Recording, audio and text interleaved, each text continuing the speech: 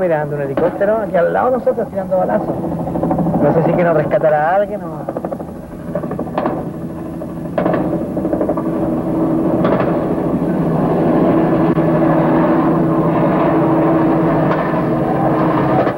Se van fugando.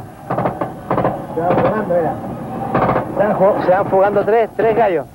Tres gallos en un helicóptero, tienen que ser extremistas.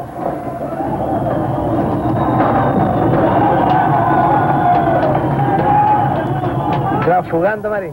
Estaban fugando tres gallos, qué lindo, Mari. ¿Sí? ¿Sabes que pasó un helicóptero? Miren la gente como aplaude porque se fugaron, mira.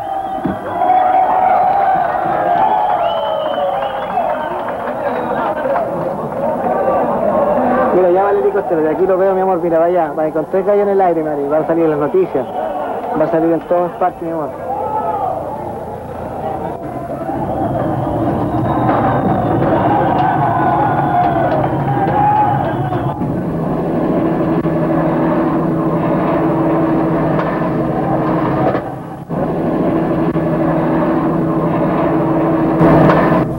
Cuatro extremistas del Frente Manuel Rodríguez fueron rescatados por un helicóptero desde la cárcel de alta seguridad. Testigos de la acción afirmaron que los reos se colgaron de una escalera mientras desde la aeronave se disparaba a los gendarmes. La espectacular fuga se produjo a las tres y media de esta tarde. A pesar del calor reinante, los reos fugados jugaban una popular pichanga o partido de fútbol en uno de los patios de 5 por 10 metros del establecimiento penal de mayor seguridad del país. El helicóptero se posó sobre el recinto, lanzó una escala cuerda con un canastillo y sobre ella comenzaron a treparse los reos mientras francotiradores con armas automáticas disparaban una lluvia de balas sobre las torres de seguridad que rodean el patio. Numerosas personas presenciaron la espectacular operación desde el edificio de los juzgados del crimen de Avenida Pedro Montt, ubicado justo al frente de la cárcel. un helicóptero un, helicóptero se sobrevoló so- sobrevoló un rato y, y tiró una escala hacia abajo y, y- y- se apiñaron cuatro individuos en el, en el helicóptero Eh, subió el helicóptero y empezaron a disparar el- la gente de gendarmería, habían carreras y todo y balazos, estábamos todos escondidos entonces yo eh, eh, me asomo y veo que hay, hay cuatro tipos que están apiñados en la, en la escala y, y del helicóptero arriba había un gallo que estaba disparando también helicóptero era? ¿Cómo no sé, era un helicóptero moderno, Ah, azul marino, nuevo, nuevo. arriba disparaban. Disparaban con, una- con- con una, una ametralladora y, y- y con el pie afuera y todo, así, un comando, una cuestión, una cuestión de película. El helicóptero fue abandonado minutos más tarde con el motor en marcha en medio del Parque Intercomunal Brasil, ubicado en la comuna de La Florida. Especialistas del Grupo de Operaciones Policiales Especiales, GOPE, se hicieron cargo del aparato ante la posibilidad de que estuviera cargado con explosivos. Allí se pudo observar el blindaje compuesto por planchas de acero que los extremistas adosaron a la parte inferior de la máquina para evitar ser alcanzados por los disparos. Poco más tarde, en calle Tupahue con Friburgo de la Florida, la policía encontró el automóvil, un Subaru Legacy de color rojo, en que los cinco ocupantes del helicóptero escaparon por vía terrestre hacia el sector sur de Santiago. En el lugar se encontraron chalecos antibala, explosivos y fusiles M16. La policía, en un despliegue pocas veces visto, allanó domicilios y vehículos, deteniendo varios sospechosos que al parecer no tienen relación con lo ocurrido. De acuerdo a la información reunida hasta el momento, toda la operación duró menos de tres minutos. El helicóptero se posó sobre el patio número 3, ubicado al interior de este recinto, y quedó a unos 10 metros de altura sobre las torres que rodean la cárcel de alta seguridad. De esa forma fue casi imposible que los gendarmes respondieran al fuego. En definitiva, podemos confirmar a esta hora que los terroristas que lograron fugarse con este sistema son Ricardo Palma Salamanca, Mauricio Hernández Norambuena, más conocido como el comandante Ramiro, segundo jefe del FNR, Pablo Muñoz Hoffman y Patricio Ortiz Montenegro. Esto es algo que se planifica con bastante tiempo de anticipación. Es un trabajo, lamento decirlo, profesional. Bueno, es un golpe serio.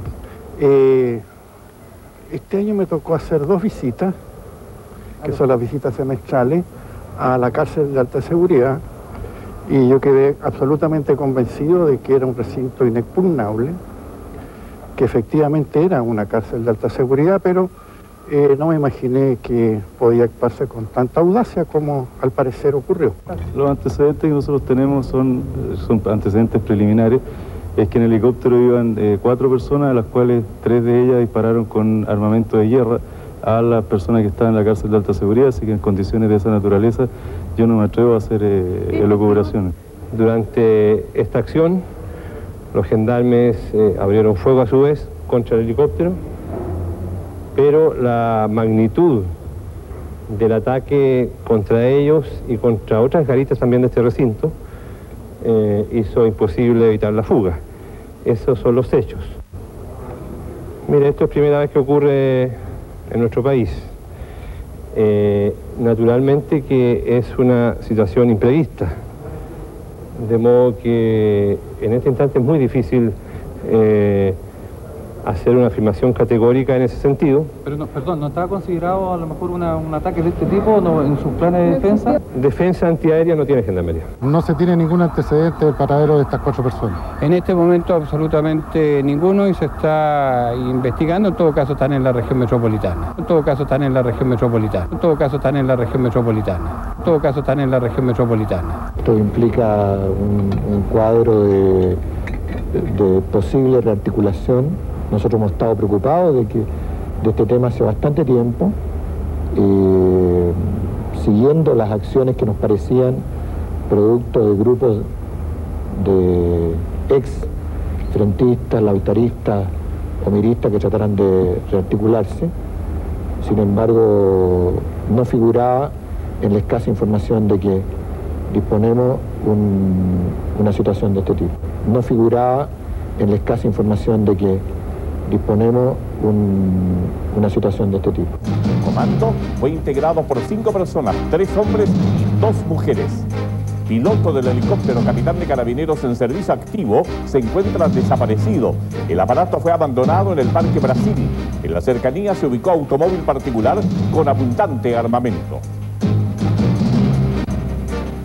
Gobierno solicitó ministro en visita para que investigue los hechos relacionados con esta cinematográfica fuga.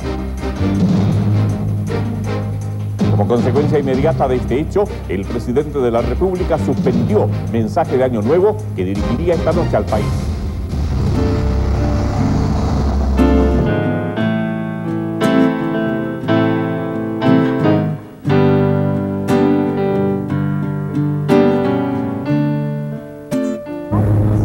Estoy muy contenta porque Pablo eh, está libre, ha, libertado su sala y donde se encuentre que sea feliz. Significa una fuerza más que nada para la gente joven, para la gente de izquierda, que se puede lograr cosas, pero con la unión, con la eh, digamos, con la honestidad, con dignidad, se puede lograr muchas cosas y los chiquillos lo demostraron, que la hermandad es lo más importante para poder realizar cosas. Y que la gente tiene que luchar por lo que cree, aunque le ponga mil barreras, siempre hay una esperanza de salir y buscar su libertad. Poco a poco, en el transcurso de la tarde, se fue apoderando de, un, de una felicidad tan grande, tan grande que ni siquiera la podía demostrar porque la quería disfrutar así, muy íntimamente. También no tan solo pensé en ellos, sino también en la gente, en sus hermanos, como ellos se dicen. Eh, eh, el amor, el amor de esos hombres para llegar sin ninguna duda a, esos niveles de rescate, de osadía, de valentía, de capacidad, inteligencia eh, y sobre todo amor, también pensé en ellos y mi deseo muy íntimo es que todo les saliera sin ningún riesgo para sus vidas, a todos ellos. Y muchos comentaban, eh, por fin se ve algo bueno en este país y, hay motivos por qué brindar en el año nuevo. Eh, fue como un comentario así, variando la forma, pero ese era el sentido. Mucha alegría, mucha felicidad por estos muchachos y bueno, y y, sobre todo también, eh, como te dijera yo, muy orgullosos de, cómo fue la acción. Para mí ha significado una de las alegrías más grandes. Ha significado ser un poco más libre. Yo creo que en general todos nos sentimos más libres de ver a estos cuatro muchachos en libertad. Ha significado revalorar lo que significa la lealtad, la decisión y el coraje.